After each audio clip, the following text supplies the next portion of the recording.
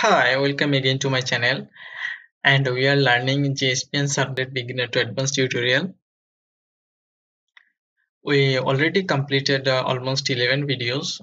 If you didn't watch those videos, just uh, go back to my channel and uh, check out JSP and Servlet tutorial playlist. And uh, if you are new on my channel, so please do subscribe on my channel and turn on notification to get notification once I upload new video so in this video we are going to talk about uh, session tracking. The session management.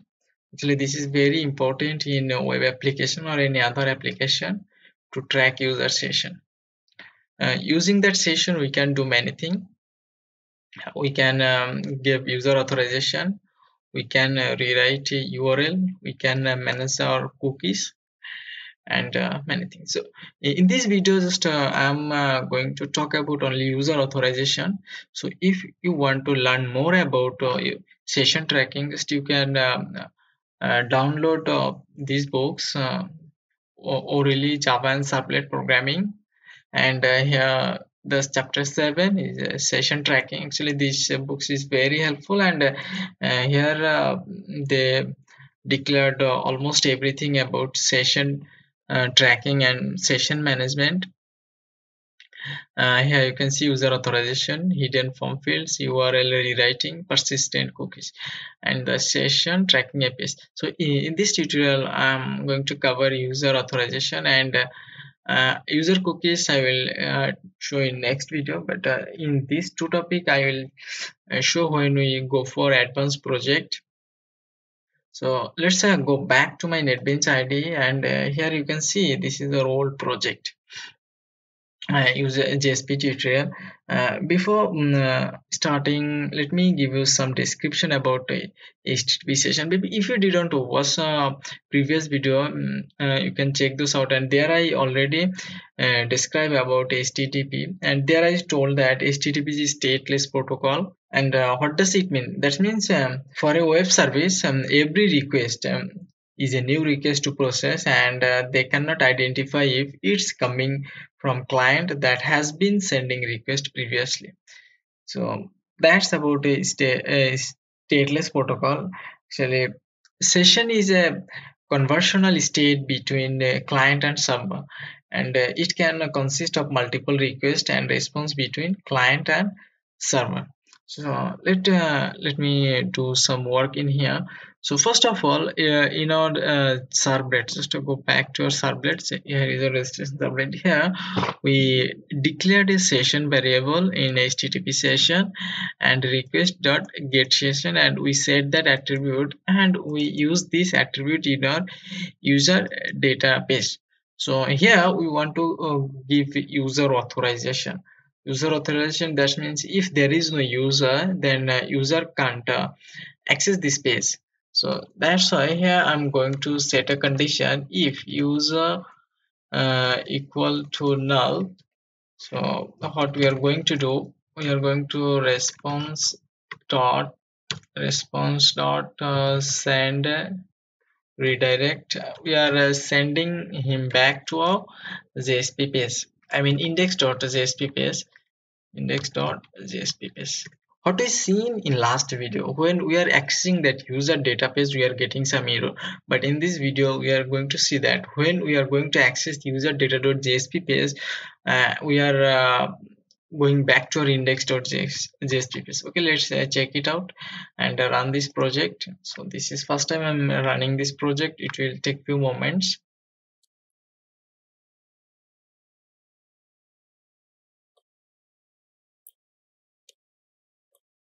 okay all right. Our project has been uh, run successfully. Oh, we already in our index.jsp uh, page so if you are going to access our user dot uh, user data.jsp page just then we will uh, redirect us to our index.jsp page that uh, page are going to redirect us to index.jsp because we don't have any session value. We don't have any user data in our session value that's why it's happening. So uh, in this way we can authorize our page that uh, we can um, uh, prevent uh, accessing publicly to a particular page so that is uh, session authorization and uh, uh, we want to we using this session we can uh, access user login and registration. So let's uh, check that uh, mm, action. So this that means we are logging or registering user so give some value here. So yeah I have some uh, dummy value using cookies. That's why it's giving so so student and submit. So now you can see that uh, we are uh, in our user data dot JSP page because uh, we have now we have the session property and we have the data in our session property. Okay now it's the time to invalidate our session. That means we are um, throwing our session to from the server. So let's uh, go back to here and uh, create a link. So type i'm doing this here. Text left. Or not text right. Text right. And here i'm giving a s3 value. So it will take a little bigger so you know that here we already used bootstrap so here we perform logout value. So logout just uh, go back to our page and refresh it. So you can see that we have a logout here. So we can add some margin here. Um, class uh, uh, margin 5 or MOI 5 oh shit. Sorry. This should be MX property. So here you can see that our uh, logout property. So when we will click on that we will invalidate our user session. So how to do that? For that we need to create a servlet. So just to go back to a source package and uh, here we create uh, invalidate session or you can name it anything here so invalid next and add information to deployment descriptor. Okay we are done. So just uh, let's go back to our user data.jsp page and here i'm going to link our servlet. So basically when we click on logout button so it will go back to it will send us to invalidate session.js uh, java file. So here we first of all we need to access our session. So how to access that so in our user JSP page, you can see that we we use that session dot get attribute and this is user type. Yeah, you got that. So so do that uh, user uh, http http session session equal to request dot request dot uh, get session and session dot so uh, first of all uh, we need to import our session here. So then session session dot uh, you can see that we have a property remove so session dot remove attribute. And what is your attribute name? Attribute name is user. So you can uh, get that. So this is our attribute name user. So we get that attribute name and now we are going to invalidate our session session dot invalidate.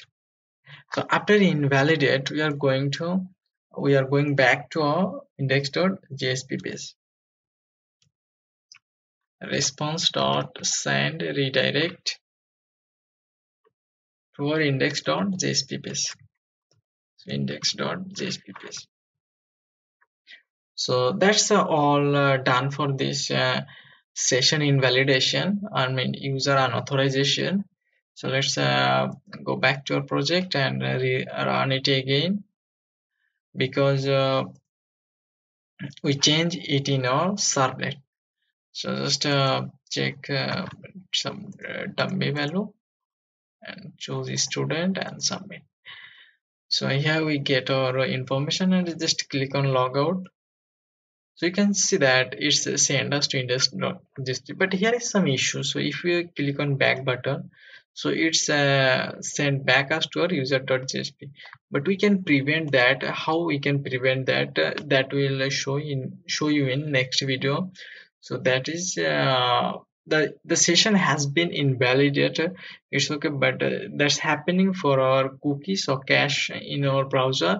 So browser uh, storing our cache value. That's why it's happening. So in next video we will see how we can uh, prevent this.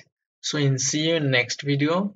And uh, if you are new on my channel so please do subscribe. And uh, if you think this video is helpful do a thumbs up and share it with your friends so see you in next video